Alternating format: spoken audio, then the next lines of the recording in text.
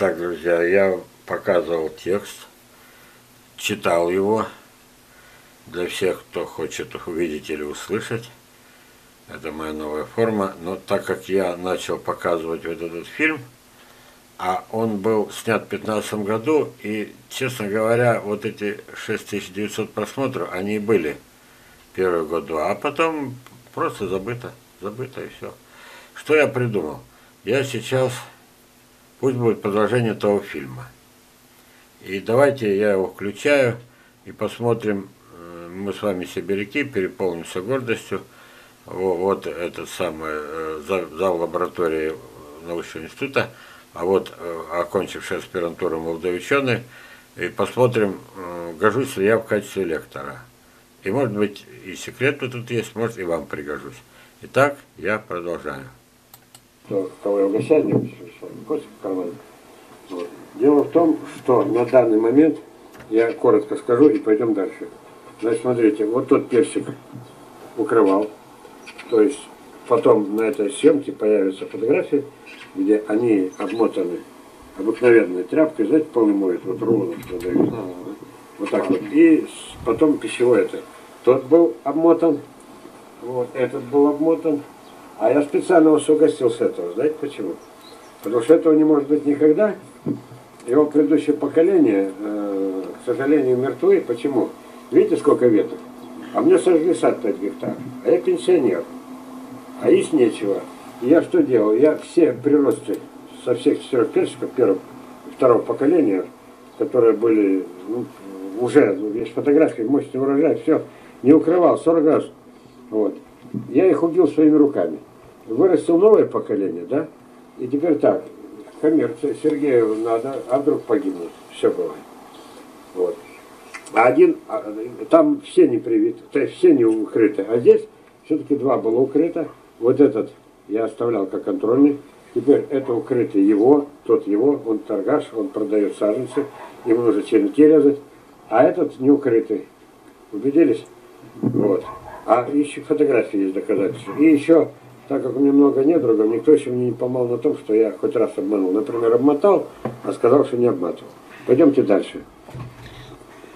В этом году они меньше, намного меньше обычно, так бывает. Не только потому, что большой урожай. В этом году все меньше.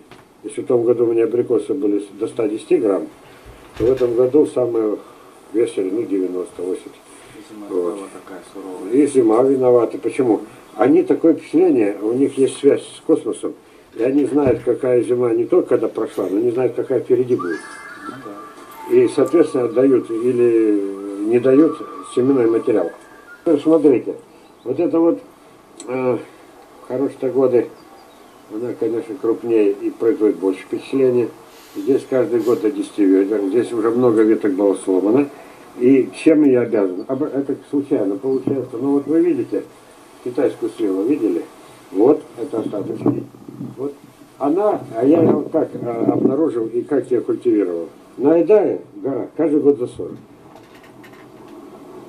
И каждый год урожай. Годится как подвой. Так вот, на ней, на ней, название мы не знаем, китайка, мелкая, непривитая, уже мельче она и не бывает, вот такая вот. Она является подвоем для вот этих роскошных. Потом мы добавим сюда несколько фотографий, и когда вы увидите сумасшедший урожай, прекрасная фотография, крупная. Сейчас она так съежилась.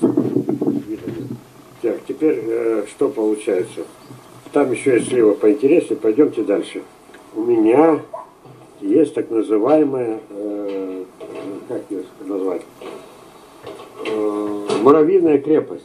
Если вы обратите внимание, видите огорожено? Муравейник. Самый первый, кстати, ему уже лет скоро 30. Вон, смотрите сюда, муравейник. Смотрите, какие они хитрые. Они защищают свои муравейники крапивой, да? Дальше муравейник.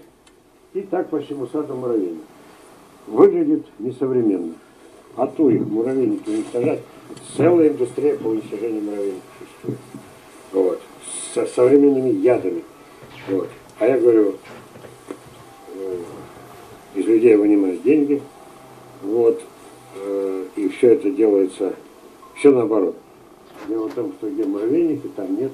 Ну или самое малое количество. Вот. А каждая дырочка в листе это не выжившая почка с снижением росточки. Теперь смотрите сюда. Значит, я уже в нескольких роликах показывал преимущество кустовидной формы. В чем она выражается? Я эти ветки не отрезал, они отмерзли. Это у меня э, это самое, как бы наиболее удачный клон. То есть сувенир Востока. Э, это прекрасный сорт. Вот он, да? Угощайтесь, вы говорите, что вы сторонник груш. Ничего, сейчас вы полюбите. Э, И тут сувенир, и там сувенир. Да? Традиции некоторые ветки присутствуют. Вот. Где-то сказывается подвой больше, где-то меньше. Вот. И получается, раз здесь подвой сказался меньше, морозостойкость была не та, все-таки роскошная слива, согласитесь? Вот. Раз морозостойкость не та, не та, э, у меня есть ролики, где она в два раза крупнее. Ну, вот такой. И получается, что все-таки кустовидная форма, ведь отмерзли, но она жива, на ней несколько ведер висела, и сейчас все, наверное, ведра два висит, если приглядеться. Вот. И на этом пока все. Пойдемте дальше. Ну хорошо, раз вы любимец груш, покажу груши. Кстати, вот испытание, видите? Еще одна не- неудачная. Я не буду срубать, а я перепривью. Вот эти ветки на новые сорта, у меня их много. Вот еще одна неудачная. Вы тоже... Вот вроде бы замечательная, да? А есть невозможно. То есть э, она не устроится никак. Вот. Теперь знакомьтесь, раз уж вы, как ученый, не то что любите груши, работаете с грушами, пожалуйста. Вот это перед вами нарядная Ефимова. Немножко уже, естественно, урожай был сумасшедший, поэтому его никак собрать не удалось весь. Один год был признан лучший сорт. Нет, еще не успел испортить. С этого момента, с этого момента, а она созрела всего неделю две назад, она начинает портиться изнутри. Это ее недостаток. Это нарядная Ефимова. В один из годов на международной выставке была признана лучшим сортом. Вот. Вкусовое качество, ну, скажем так, неплохие. Но из моих, моей коллекции не лучшая. Ксения Яковлева. Так. Она немножко не дозрела, но чтобы вы имели впечатление о ее вкусовых качествах, пожалуйста. Вот. Она из чисто сладких. Ты тут не придерешься. Пропускает в этом году урожай у меня э, сорт из Бельгии, лесная красавица. Не смогу вас угостить. Так. Спасибо, что приехали, спасибо, что сами упомянули фамилию великого Байкала. Непризнанного гения, к сожалению, непризнанного, полузабытого. И о чем мы сейчас с вами говорили? Дело в том, что это я невзначай держу, да? Ну, здесь плоды где-то грамм 90, но три года назад, то есть два года назад были застой, есть фотографии вместе с электронными весами. Я это подчеркиваю не для того, чтобы сказать, вот я какой. Вот. Я всю жизнь буду вторым по черешням за великим Боднером. Я всю жизнь вторым буду, допустим, за... Я говорю из любителей, я профессионал не путаю. У вас это своя дорога, у нас своя. Вот. И я уже в который раз, да может быть где-то даже вас упредил. Примерно в Фазенде еще 10 лет назад в газете Красавской наш любимый писал о том, что невозможно с помощью семенного размножения сохранить сортовое качество. И что через 10 лет байкаловские сорта уйдут небытие. Прошло 10 лет. Сейчас э, не я, а вы сказали следующее. Э, Из ваших уст прозвучало, почему мы подошли сюда. Что да, нужно сохранять прививками, но для этого нужно иметь специальный подвой. Вот. И у меня большое сомнение, что э, успеют ли байкаловские сорта сохраниться, пока ну, вот этот вот период перехода на такие подвои, чтобы сохранить климат раскачиваться, завершился. Значит, вот мой путь. Раз что приехали, вы смотрите сюда. В свое время мне просто повезло, видите, вот это вот чудо. Да? Вот. Обнять его я не смогу, да и пытаться не буду. Ему 31 год, это мой ветеран. Вот. И что получилось? Этот ветеран, а уже немножко я заикнулся про секс между деревьями. Может, это звучит вульгарно. Но, по-моему, раз наука этот путь, не обижайте на меня, но ваши товарищи старшие в Москве, фамилии не буду называть, вот такими погонами с генеральскими сказали, что это невозможно, да? Вот. Вы можете иметь свое мнение, допустим, соглашаться со мной, можете нейтральное мнение. Может быть, э, это самое. Я специально вам этот вопрос не задаю, чтобы вас не подставить. Я просто хочу сказать, что вот эти деревья а, живут очень близко. Абрикос Манитоба, Европа. Абрикос Королевский, Европа. Так. Тут же вон он, Амур, Дальний Восток. Серафим, Дальний Восток, чуть дальше. Вот. э, Дар Небес, опять Европа. Вот. Принято, кстати, считать, что в Сибири европейцам делать нечего. И действительно, большинство наших, вот он подтвердит Турсун, большинство сортов, сортов, все, что мы с ним обнаружили тут, не у себя, а по округе, все это Дальний Восток. Амур, Серафим, Академик, их производная, а знаете, сколько их у нас уже? Сотни сортообразцов. Ведь народ же это берет с костики раз, помельче, но растет, помельче, но не замерзает, а иногда и не помельче, а иногда не хуже. А у него же еще и папа есть, а папа мог быть культурный. Вот так вот получилось тут. Этот абрикос, э, родоначальник, оброс своими детьми, ну какими детьми? Вегетативными. Все мои абрикосы привиты на его этих самых, косточки взяты с него. Что получилось? Гарантированная родственная связь. Гарантированная. Тут и по Мичурину, потому что, э, допустим, э, насыщение ментора – это его термин, это его практика, да? Тут же и по железу насыщение ментора – это перенос с первого поколения второго. Брать не все время с одного дерева, а с первого на второго, а потом со второго на третье, но все время дети с одного дерева, и получается, э, монастырских не теряем, а, а родня все ближе, ближе, ближе. И вот тут случилось чудо, которое невиданное, и я, собственно, за это я рад вас сам встречу сказать в вашем присутствии, что вот эти вот плоды, которые в полтора раза крупнее, чем они должны быть по теории, по справочникам, да, это означает так. Раскрываются некоторые качества плодов, ведь таких же крупных у меня не было, а они вдруг вот. Или, например, не было алых, ярко-красных, а они вдруг... а у них есть дедушки, бабушки, у них есть генная память. Они же все э, настолько далеки. Если он по легендам Джорджини, как мне Бродский рассказывает, это Дальний Восток, да, Джорджини это была народность, как Эллины для нас, как Древняя Греция, да, сверхкультура, так и там. И у них уже были такие абрикосы. А потом одичание. Почему? Войны, разрухи, пожары, уничтожение. И там же, э, а, а- а мы начали с Европы еще сюда перетягивать. А у них же э, там где-то в генной памяти заложены качества, которые потеряны были зачем?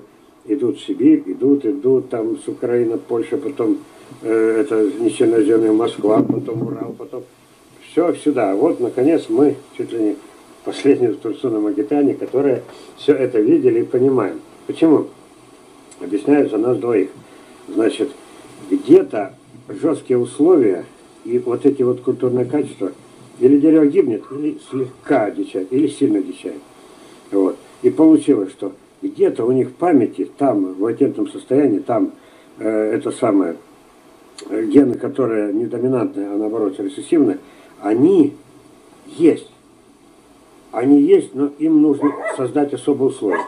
И вот мне удалось на примере абрикосов, слив и отдельных сортов груш, да, черешин, не- э, да, персиков, и черешни не укрываю, и персики никого, вон они черешневые деревья. Фотографии могу пришпилить к этому, к этой съемке э, с плодами. Э, Деревья предчувствуют будущее. Я считал как? Вот в прошлом прошла лютая зима, да, потеряли урожай, ну там цветы замерзли, много чего еще. Что предчувствие лютой зимы может дать такой урожай, предчувствие, что повторить потомство как можно это гуще. А тут нет, оказывается другое. Откуда-то деревья знали, абрикос там все, что впереди будут две зимы. Одна просто не 40 градусов, ну 36-38 градусов теплая зима. А другая вообще, как на Украине, последняя. Это не зима была, это сказка. И вот что получилось. У них раскрылись новые качества. И теперь я хожу, не узнаю. А теперь самое главное, зачем я это говорю. Надо организовать конференцию, конференцию нашу, назовем ее Восточно-Сибирскую. Вот. Может быть, вплоть до Иркутска, там тоже пытаются абрикосы вырастить, так, не очень удачно. Так, и на этой конференции собрать всех и дать мне возможность выступить с таким докладом, чтобы я предъявил бы сотни фотографий, все наблюдения. Уникальный материал, он настолько уникален, он настолько добротен, что никто посмотрев не скажет, что это что-то выдумал, что-то придумал. Вот. И специально говорю, Турсун Дускабилов, он никогда не боялся признать, что он мой, этот самый, потому что ко мне многие плохо относятся, что он мой друг. Вот. И, как сказать, под- подтвердить может каждое мое слово. Нужна конференция. Я просто использовал вас, чтобы походить по саду, рассказать вот о таких проблемах, о том, что это дерево может стать родоначальником вообще всего абрикосового садоводства в Сибири. Именно это дерево. Но в этом году слабый был урожай, 6 или 7 ведер. Но ведь оно несколько лет назад 30 ведер давало. Вы знаете, сколько плодов? Десятки тысяч. Этих косточек. Его дети мне дали примерно 50 тысяч косточек. Его детям. Гибриды. У меня лежит 50 тысяч косточек. Кому они нужны?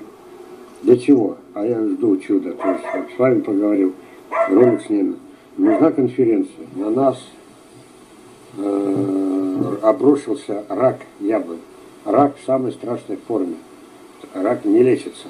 Деревья, о, если раньше рак наши деревья уничтожал года с 20-го, медленно, но они успевали дать 10-15 урожаев. Они даже не сразу погибали, они могли быть покрыты раковыми этими самыми язвами и тем не менее продолжать и не заражали соседние деревья. Пришел импортный рак. Догадываюсь, что пришел вместе с привозными саженцами. Вот, догадываюсь, но не утверждаю. Кто бы делал лабораторный анализ, кто бы делал листохимию, никто. Вот. И я хочу, чтобы эта конференция была, чтобы я там показал десятка, сто фотографий. Я сейчас вам покажу. Вот, что это проблема из проблем, что это пройдет еще, если не остановить, это эпидемия дичайшая. Один слежу я, сосед видит у соседа. Началось у нас на том берегу, пришло на этот берег. У меня еще, слава богу, нет, но по другой причине, я скажу секрет, почему у меня нет. Вот. По соседям сейчас пойдем глядеть, уже ролики сняты, толку нету, почему. Нужно, чтобы была конференция, чтобы это было заявлено громко, чтобы это было а, озадачены все. Э, администрация городов, чтобы выгнали этих самых приезжих саженцами, чтобы только свои покупали у местных. Вот, это администрация городов. Чтобы это самое, э, я покажу несколько приемов смертельных, это касается обрезки, чтобы была широкая пропаганда. Типа, как у меня есть ролик, называется «Руки прочь от деревьев». А что толку? Ну, посмотрел 2000 человек, а у нас же их тут миллионы садоводов. Вот. И вот это тоже. И извините за мой этот спич, значит, я просто надеюсь, что когда-то, когда-то ее увидят не только, э, так сказать, наш уровень, но и там на самом наверху. Сейчас мы с вами пойдем. Почему я сказал, что э, по соседям вынуждены ходить? Потому что мы там увидим и много интересного и полезного, и, к сожалению, вот эти вот мрачные картинки. Пойдемте. Мы находимся за забором, но, чтобы вы знали, полностью этот сад посажен моими руками. Он особый, он контрольный, его называю. В науке есть понятие, как контрольные грядки, да, там, а слово контрольный есть. Так вот, э, получилось так, что когда я садил, они мне полсотки уступили, почти сотку. А я за это обещал сад посадить. Я посадил, кто доносит. Я упалил при посадке, и все. А дальше со- соседям было не надо, они не поливали. Я еще строю несколько раз полил за забора ближние, потом махнул рукой, говорю, да не надо вам и не надо, не поливайте. Сад выжил, сад плодоносит. Я вас буду знакомить с хорошим, плохим. То есть хорошим я что скажу. Э, Дело в том, что, э, вернее, плохое. Его потом объели козы, но видите, какой прочный. Дело в том, что низ это уссурийская груша. Верх это груша среднерусская. Она тоже относится к самым сладким. Самым сладким. Так, но она поздно, она осенняя, она как камень. Сейчас я вас не угощаю все. И вот она самое э, прекрасное дерево получилось. Это Европа, европейская часть России, она там считается морозостойкой, а еще на уссурийском подвое. Ну вот тут его объели козы, вот было спилено. И я вынужден выразить сожаление, что когда из нее лезут, лезут вот эти волчки, так, я приваю очень низко, видите, это культурное, культурное, культурное. Вот, то их, к сожалению, принято уничтожать. Это общепринято. А я все время говорю, растет э, смена вот этой старой, а они довольно сильно были покалечены, сильно, ну сами видите. Вот. Поэтому деревья чувствуют, что им недолго жить осталось. Да, плодоносят, да, каждый год. Прекрасно, посмотрите, какие урожаи. Туда, если направить вверх. Вот. Это каждый год. Это еще маленький урожай, это не, не грушевый год. Ну, к сожалению, вот эти волчки принято уничтожать. Я просто предупреждаю. Видите волчок? Это сигнал, что кроны собираются погибать. Это я не вам говорю, вы ученые, я как бы говорю тем, кто нас увидит из простых садоводов. Пойдемте дальше. Вот. Яблоня Жигулевская. Я ее называю король сада. Король сада. Так. Жигулевское. Женского рода, мужского, среднего. Вот. Оно, оно тоже себя хорошо в Сибири показало. Э, Требует, прямо, прямо просится, чтобы ее размножали. Вот. Хороша. Пойдемте дальше. И сразу, чтобы у нас круг получился, видите? вот назад мы стояли возле еще живого дерева, Стайногорское телевидение.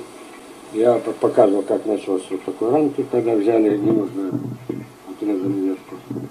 Пошла типа, отмевание выше-выше. Одна из двух веток больших, потом ее отрезали, и, наконец, остался пень. Это неумеренная, ненужная обрезка. Когда я отругал этого хозяина, почему? Садил-то я, мне обидно. Просто было обидно. Ну, не хозяина, а родственник хозяина. Он считает, что лучше меня разбирается в садоводстве. Он после этого уже взял и отрезал, смотрите. Вот ему ветка мешала, видите? Вот еще одна дерево, готово умирать. А знаете, что это такое? Есть фотография. Вот это.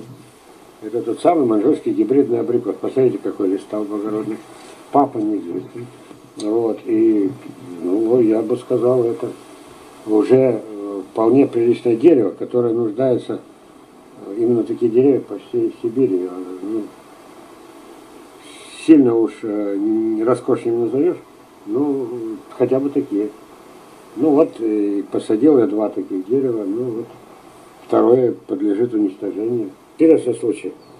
Не знаю, Тарсон в курсе или нет, знаете ли вы Чернобаева, не помню. Да, да, да. Вот, он э, мой, э, один из моих лучших друзей, его сад является дублером моего сада. Контроль, мало ли что. У него погибнет, у меня возьмет, у меня погибнет, у него. То есть два сада почти близнеца. Единственная разница заключалась в том, что он э, апорт Алматинский лично привез с Алматы. Так. А я достал у, у этого, у Байковой. И э, вот как, что такое влияние подвоя, какими путями разными мы шли.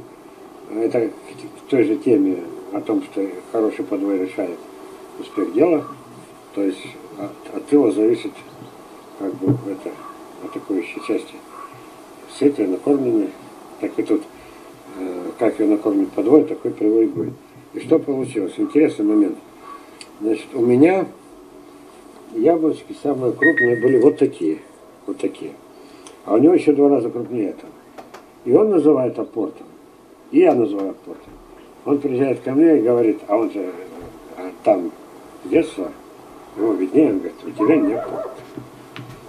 Вот, а у меня апорт. А я говорю, ну что, Байкова? Байкова, такой авторитет, а у нее достал. Ну и что вы думаете? Идут годы, и пусть он теперь скажет, что это не апорт. То есть, чем, скажем, последующее поколение, как, чем больше на это. Я сейчас скажу одну вещь, которую я, к сожалению, в литературе не читал ни разу. Понятие морозостойкости считается абсолютным. Вот. Как его определили? Я не знаю тонкости технологии, оно как-то перед нами лебедь не раскрывается, но будто бы существует морозе специальная морозильная камера по определению морозостойкости. То есть берут веточку, раз туда, заморозили, и в какой-то момент решили, что у этого, допустим, 32, у этого 28, у этого 35, у этого 40. Вот. Будто бы существует такая технология. То есть вот только это я прочитал, но без раскрытия вот этой. Вот. А мои многолетние наблюдения показали, что даже цифры, приведенные из справочника, неправильные, все занижены. Как? Если брать семенное размножение, сильно большой разброс. Вот две косточки рядом, вот отсюда, вот отсюда возьмем. Разная морозостойкость. Кто бы стал спорить, да? Гибриды же. Правильно. Теперь возьмем прививки. От подвоев зависит, а подвой опять две косточки разные. Опять разная морозостойкость. Так же? Вот. Получается, абсолютно мы остановить ее не можем. Остается относительно. От чего она зависит? От биологической совместимости. Через там 25 лет стукнул себя в лоб. То есть я сделал 100 прививок. Помните, я говорю, 20 пошло, 100 нет. Почему а- а- они это самое? Тут даже еще и зимы-то не было, а оно уже мертвое.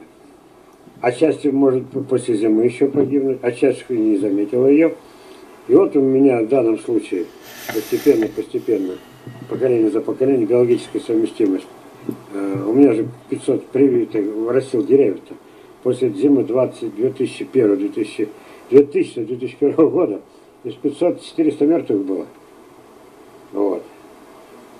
Там, на острове, когда я большой сад разводил промышленный. Жигулевские не пострадали, Северный штаб не пострадали.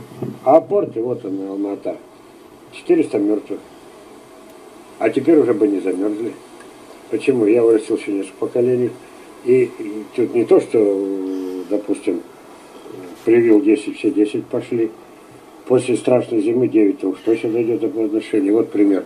И что интересно, чем лучше они себя чувствовали на сибирских подвоях, с поколения, по- подчеркиваю, наслоение ветра, это перенос. Это не то, что там опять привил, опять привил. Значит, это перенос с нового поколения, с последнего, буквально одно-двухлетнего. На третье, потом с третьего на четвертое. И, а по два один и тот же. В каком смысле один и тот же? Одно из условий. 17 одного дерева. Это мое открытие. И получилось так, что морозостойкость тогда доходит до предела. И вот чудо, минус 40 персики живы. Минус 40 100-граммовые сливы живы.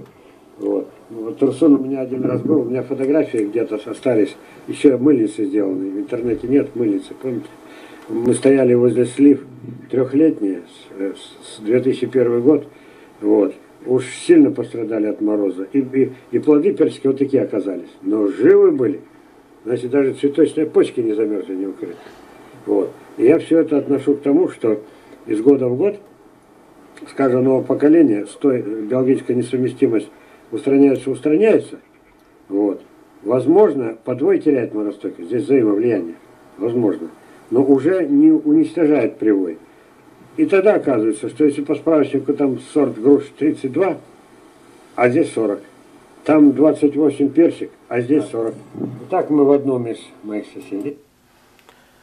Так, друзья, закончилась, заканчивается 30 минута. Это значит, что сейчас отключится э, видеокамера. На прощание еще расскажу.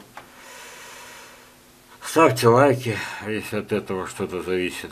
Вот. Надеюсь, что вы не зря провели эти полчаса вместе со мной, вместе с учеными. До свидания, друзья. До новой встречи. Мы еще увидимся сотни раз. Вот. Огромный архив.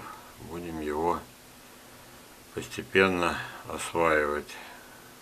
Да, кстати, то, что вы сегодня видели, это Нобелевская премия, но как-то, понимаете, из года в год, а мне уже 71, ее забывают не вручить. Вот, причем вся Академия наук, если бы вместо того, чтобы выступить в защиту дать, что же дать Нобелевскую премию, она бы вся застрелилась бы. Только вот. на этом заканчиваю, друзья. Вот. Так уж получается. Не навсегда.